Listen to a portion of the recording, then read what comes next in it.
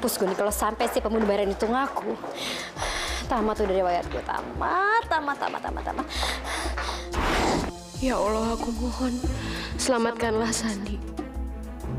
Dokter, detak jantung pasien sudah kembali normal. Alhamdulillah. Takut dok, kalau sampai kebohongan ini kebongkar sama papa. Tenang aja, Sally. Papa kamu tidak akan tahu langsung. Soalnya beberapa hari lagi hasil laporannya baru akan keluar. Jadi masih punya banyak waktu kan?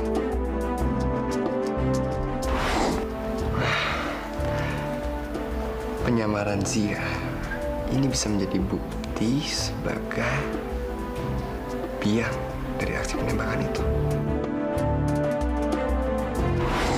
Maafin aku kalau kalau maafin aku. Selama ini aku udah salah menilai kakak. Selama ini, selama ini aku berpikir kalau kalau kalau kalau udah jahat, kalau kalau udah berubah. Tapi ternyata aku salah. Kami dari kepolisian. Nona Zia, Anda kami tahan.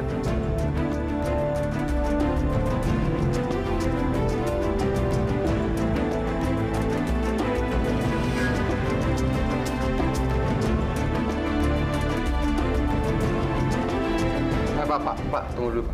Bapak jangan sembarangan nangkap Zia, Pak. Zia emang salah apa? Ada yang menuduh Nona Zia sebagai dalang percobaan pembunuhan. Pembunuhan? Percobaan pembunuhan? Siapa yang nuduh aku melakukan ini? Aku nggak pernah melakukan percobaan pembunuhan. Anda nanti akan tahu semua di kantor polisi dan kita selesaikan di pengadilan.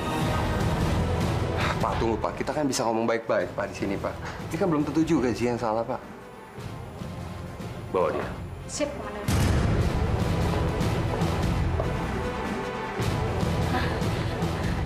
Apaan sih kalian nggak bisa nangkap saya seenaknya? Nggak bisa, lepasin saya. Bayu tolong aku, Bayu tolong jelasin ke mereka. Aku tuh nggak salah, aku nggak tahu apa-apa, Bayu. Iya, Zia. Kamu sabar, kamu sabar.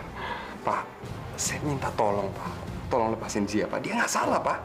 Kalau Anda berani coba menghalangi kami, Anda juga bisa kami tahan dengan tuduhan menghalangi tugas kami. Cepat bawa dia. Iya, Pak, tapi... Bawa dia. Ayo jalan. Ya tapi aku nggak tahu apa-apa. Udah. Ya nggak salah. Lepasin saya, saya nggak tahu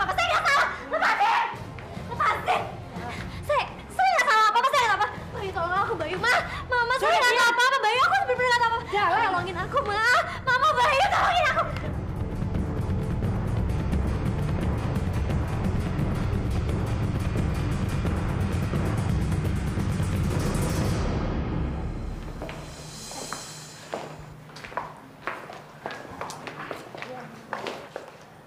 Sebentar, sebentar. Masa untuk menentukan seseorang hamil atau tidak perlu 15 hari? Ini kan zaman modern. Semua serba instan. Di apotek kan banyak alat untuk mengetes kehamilan. Aduh, gawat nih. Krisna kan mau ke sana. Bisa-bisa Krisna ketahuan sama papa. Nah, nggak beres. Pak, Pak, tunggu Pak. Eh, dokter tuh butuh waktu lama supaya supaya hasilnya tuh benar-benar akurat, Pak. Lagian kenapa sih? Papa tuh kayaknya nggak nggak percaya banget kalau aku tuh hamil. Sally, Papa itu kenal betul siapa kamu. Nggak mungkin kamu mau tidur sembarangan sama laki-laki. Apalagi sampai hamil. Satu-satunya jawaban, kamu berbohong.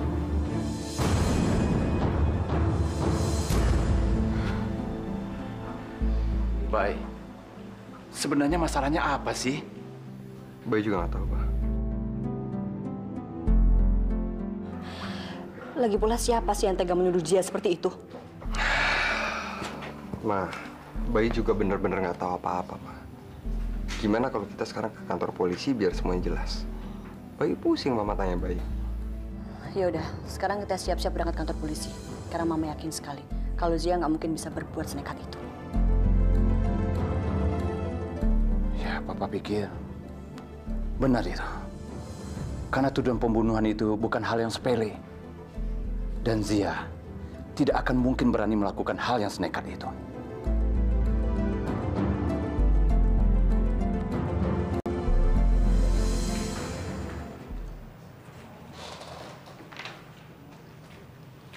Kenapa, Chris? Makasih ya dok atas bantuannya. Sama-sama, Chris. Saya juga senang membantu Anda. Kita kan teman, selayaknya sudah saling membantu. Ya kan? Pak, tunggu, Pak. Aduh, gawat nih kalau sampai Papa masuk ke ruang pemeriksaan. Krisna kan juga ada di dalam.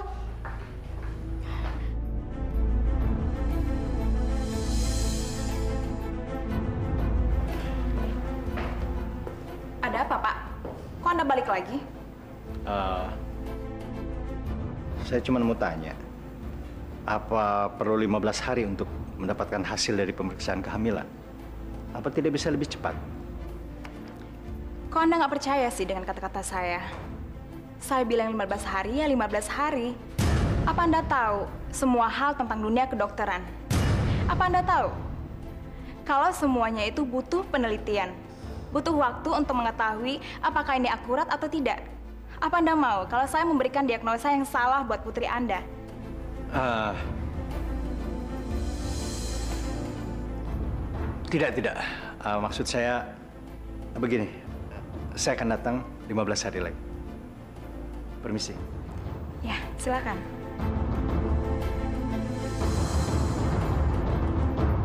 Aduh, apaan sih? Lepasin saya! Lepasin! Eh, lepasin saya! Lepasin! Ya tapi, ya tapi kenapa saya ditangkap? Saya tuh nggak salah apa-apa, saya nggak tahu apa-apa, saya ditangkap aja.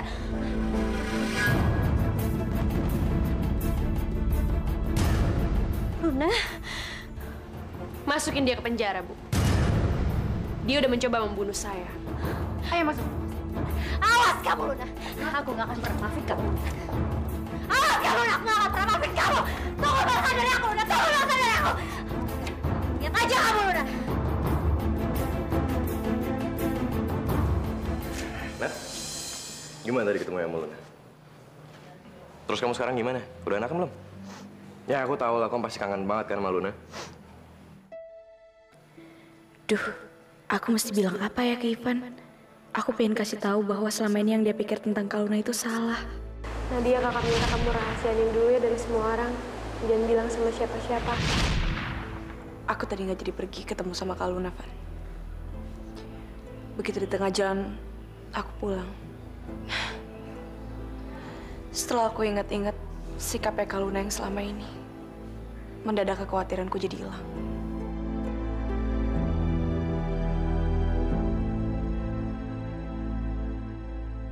Gimana kalau orang yang nembak Luna buka mulut terus dia bawa-bawa nama gue? Mati gue. Bego banget sih gue. Ngapain lagi gue bayar bego kayak mereka? Ngapain juga gue pakai ke Surabaya segala? Kalau kayak gini kan alibi gue jadi lemah.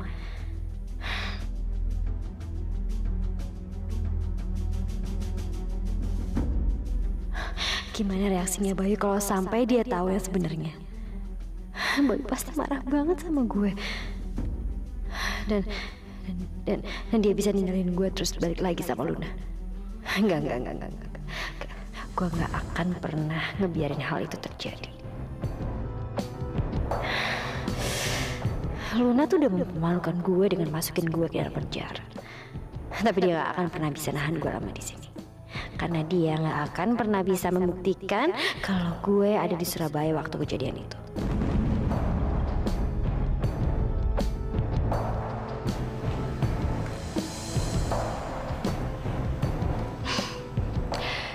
Gimana rasanya tinggal di penjara? Kasihan kamu ya. Harus tinggal di ruangan sempit seperti ini. Nggak ada tempat tidur yang enak, nggak ada AC. Kipas angin aja nggak ada. Luna, aku pastikan kamu akan membayar semua ini. Udahlah, kamu nggak usah mikirin gimana caranya ngebales saya. Mendingan sekarang kamu pikirin aja dulu gimana caranya kamu keluar dari sini. Kamu udah banyak berbuat jahat sama saya, tapi nggak pernah berhasil. Karena kamu itu emang nggak ada apa-apanya, Zia. Akan bunuh kamu, Luna. Lihat aja, begitu aku keluar dari penjara ini, habis kamu. Hati-hati loh kalau ngomong. Ntar kalau kedengeran orang gimana? Kata-kata kamu barusan itu bisa ngeberatin kamu di pengadilan. Kamu akan ngebayar setiap tetesan darah yang dikeluarin dari tubuhnya Sandi. Dan ini belum seberapa.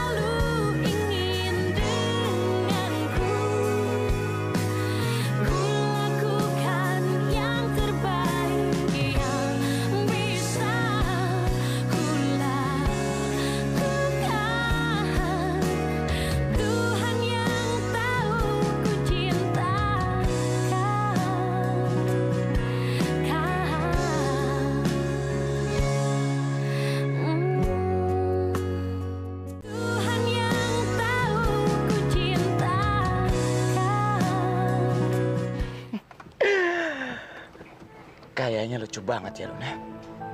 Ngeliat si itu ada di dalam penjara. Ya ya mudah-mudahan aja Zia akan berada terus di sana. San ini nggak lucu lagi. Ini bukan sesuatu yang pantas buat diketawain. Dia tuh hampir ngebunuh kita berdua. Dan yang paling saya nggak bisa terima adalah dia hampir ngebunuh sahabat saya. Justru saya yang harus berterima kasih sama kamu. Karena kamu telah menganggap saya itu sebagai sahabat kamu. Ya, pada awalnya saya sempat berpikir kalau Bayu yang akan menjadi sahabat kamu. Maafin saya dulu. Karena saya sempat berpikir seperti itu. San, Bayu adalah cinta sejati saya. Dan kamu adalah sahabat terbaik saya. Makasih, Luna. Untuk seorang yatim piatu seperti saya, perhatian kamu itu lebih dari cukup.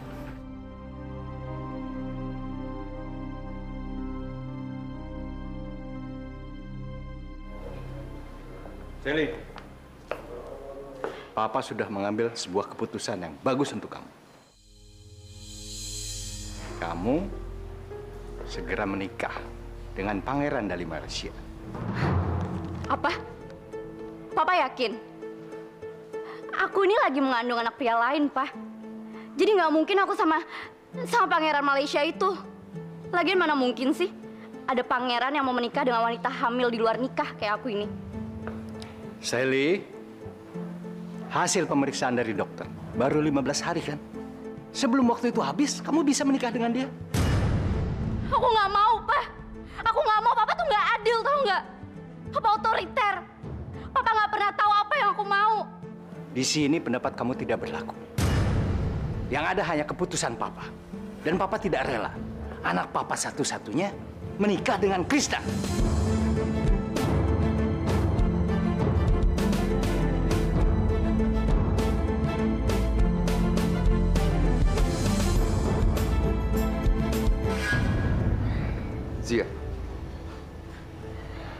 Sekarang saya minta sama kamu tolong jawab dengan jujur. Apa benar? Kamu terlibat dalam penembakan di waktu malam acara penghargaan musik award di Surabaya. Enggak, Bay. Enggak, aku sama sekali nggak terlibat, Bayu. Zia, saya mohon. Lihat mata saya. Enggak, Bay. Aku nggak bisa. Kamu nggak mau? Oke. Berarti saya tahu. Kalau kamu itu emang gak mau jujur sama saya. Dan saya juga nggak tahu kalau kamu itu bener apa enggak. Bay, aku sama sekali nggak bohong sama kamu, Bay. Mana mungkin sih aku bohong sama kamu? Aku sama sekali nggak terlibat, Bay. Sekarang saya minta sama kamu jelasin semuanya sama saya. Kamu udah bohongin saya berapa kali sih? Yang pertama, kamu bohongin saya soal keberangkatan kamu ke Singapura. Dan yang kedua, soal kepergian kamu ke Surabaya. Kamu sama sekali nggak jujur. Kamu ngapain ke? Oke, kalau emang kamu bilang itu urusan bisnis, pada waktu yang sama, kenapa tiba-tiba kamu ada di acara penghargaan musik award di Surabaya? Dan ngapain kamu harus menyamar? Zia, Zia.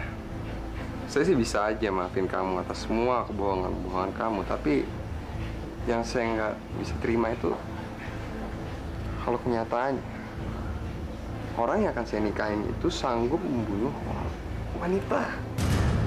Ya biarpun wanita itu pernah menyakiti hati saya, tapi tega ya? Nggak nyangka sih, saya akan nikah sama calon pembunuh. Saya tahu mungkin setelah saya omongin ini, kamu akan menyesali semua perbuatan kamu. Ya saya tahu, tapi saya nggak akan bisa maafin apa yang udah kamu perbuat sekarang. Permisi. Bayu, Bay, Bay jangan pergi, Bay. Bayu, Bayu jangan pergi, Bayu jangan jangan tinggalin aku di sini, Bayu. Bayu.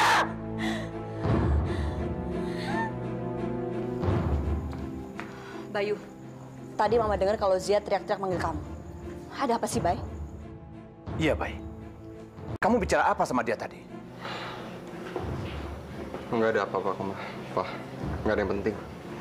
Mending kita pulang aja dari sini, Ma. Biarin Zia menderita di sini. Karena dia emang bersalah. Ayo, Ma. Pa. Apa? Jadi kamu pikir Zia memang berusaha membunuh Luna gitu? Kamu tuh bisa pakai akal sehat nggak sih? Masih percaya kamu sama Luna? Kamu tahu kan Luna itu pembohong besar, Bay. Zia itu nggak salah apa-apa. Ya tapi, Ma, Zia itu Udah, orang... diam kamu. Jangan ngomong apa-apa lagi. Sekarang Mama mau ketemu sama Zia. Ma,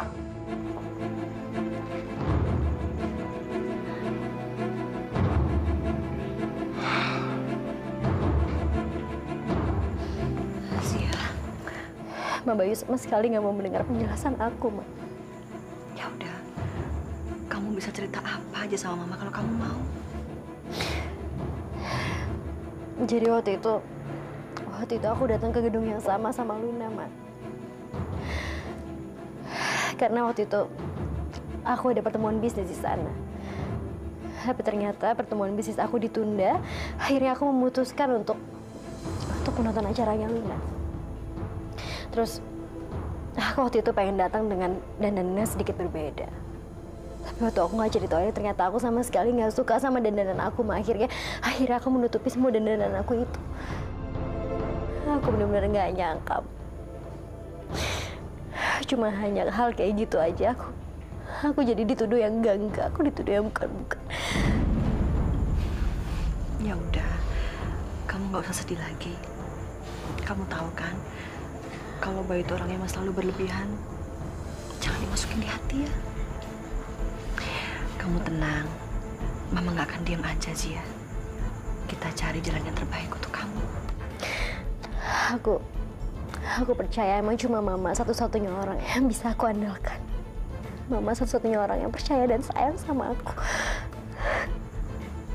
Ya udah, kalau gitu Mama pamit dulu ya. Mama mau ketemu sama Bayu. Mama akan ceritakan semuanya. Mama akan jelaskan ke dia kalau sebenarnya kamu tuh nggak salah apa-apa. Biar dia ngerti. Makasih banyak ya, Ma.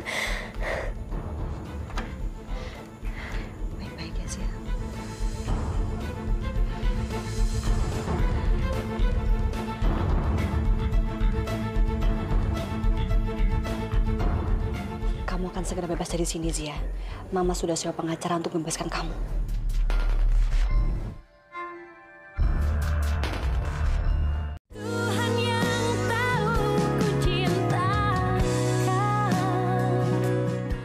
sayang.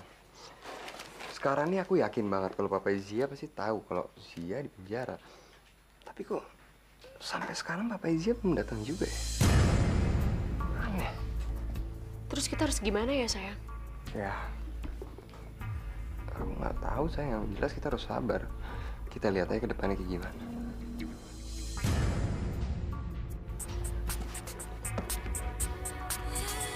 Krisna. Halo Kris, ada apa Kris? Aduh, ini gawat banget, Mas. Tiba-tiba Mama datang kantor polisi dan katanya udah dapat pengacara buat ngebebasin Zia. Serius loh? Oh, ya udah. Makasih Kris. Ada apa, sayang? Gawat sayang. Tadi Krisna bilang, Mama udah ngebayar pengacara untuk ngebebasin Zia. Ya udah kalau gitu aku ke sana sekarang juga ya. Aku pergi ya. Pak, tolong segera bebaskan Zia. Karena kami sudah membayar jaminannya kan, Pak. Bapak harus menunggu sampai kami menanyakan pada pelaku penembakan itu. Apakah dia mengenal Jia atau tidak? Kami bisa saja membebaskan Jia hari ini juga. Tapi kalau sampai pelaku penembakan itu mengakui kalau Jia itu adalah otak di balik semua ini, Pak.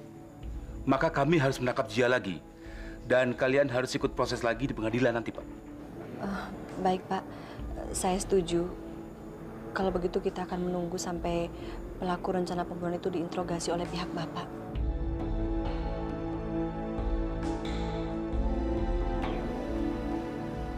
Mama? Mama ngapain di sini? Mama bawa pengacara untuk membebaskan Zia dari sini. Bebasin Zia. Ma, dengar ya, Ma.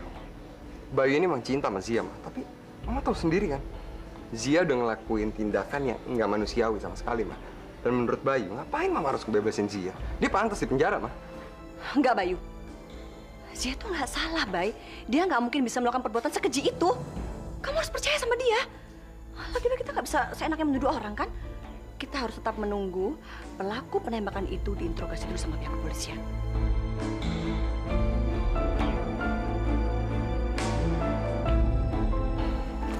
Iya, eh, lepasin.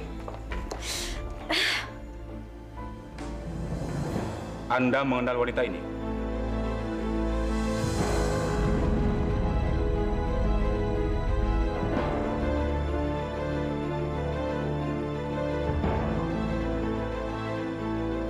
Enggak, Pak.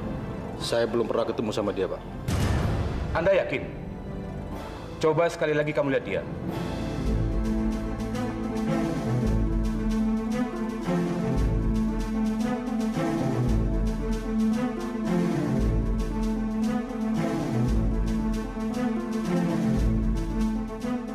Iya, Pak. Saya yakin, Pak. Saya nggak kenal sama dia.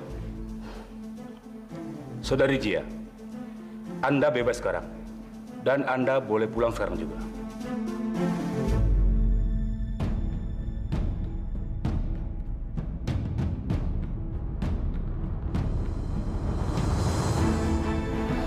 Bayu, Mama benar kan? Zia itu tidak bersalah. Iya, Mas. Akhirnya yang bener menang juga kan?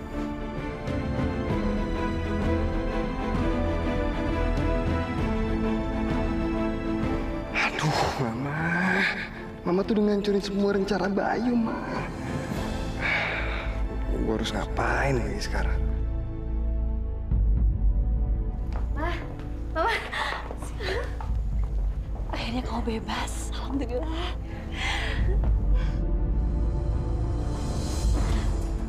Bayu ke mana, Ma? Kok, kok Bayu nggak ada sih, Ma? Mas Boy udah pergi duluan, dia marah sama lo tuh.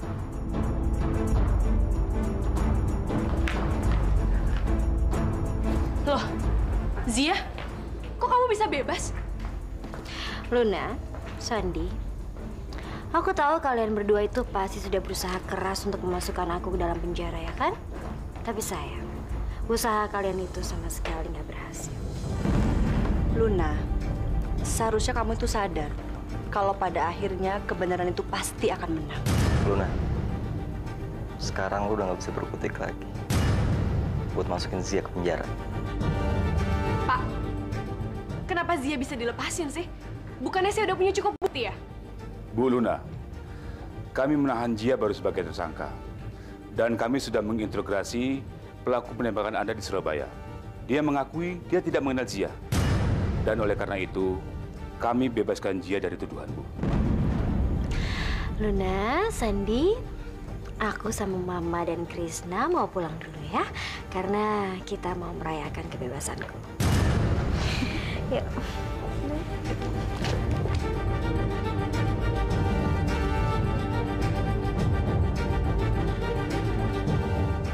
Pengen lihat dengan mata kepalaku sendiri gimana usahanya Luna untuk menghancurkan kita itu akan sia-sia.